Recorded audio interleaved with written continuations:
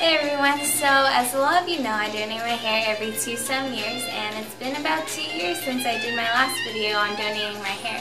Well this year I'm going to be donating it to Pantene rather than Locks of Love, but don't get me wrong, both organizations are really awesome and they're both for a good cause. Let's do this.